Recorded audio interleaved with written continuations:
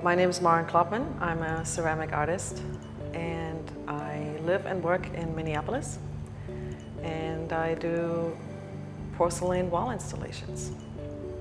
I have been working in clay for over 34 years and my path really started with functional pottery. I had a traditional training in Germany uh, where I was born and raised and then travels took me to the United States where I really followed one ceramic opportunity uh, after the other.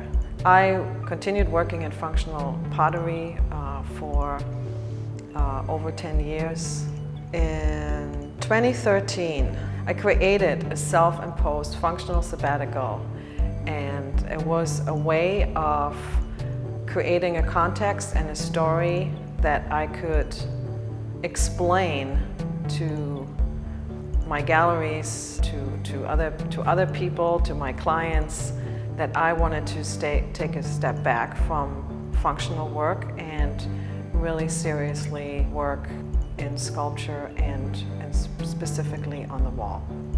Before I knew it, six months were over and 12 months were over and I decided the sabbatical is permanent now. My wall installations have uh, really developed in the way I perceive them and see them as transforming space through presence of shape, of form, and light.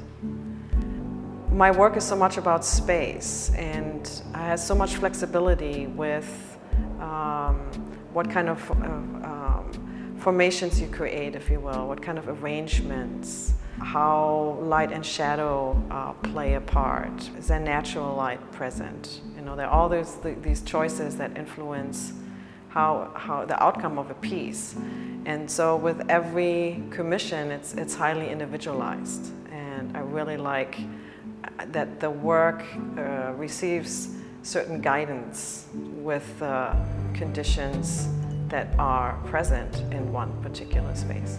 I have been working with Hostler Burrows for roughly the last 18 months and we, uh, they take my work uh, on a regular basis to some of the major art fairs including Design Miami, Art Basel in Switzerland, and the Expo in Chicago and a few others in between we have come to a, a kind of a wonderful place of collaboration where really choice, all the decisions you could say that, that regard the work in general, the pricing, everything, um, we really do through dialogue.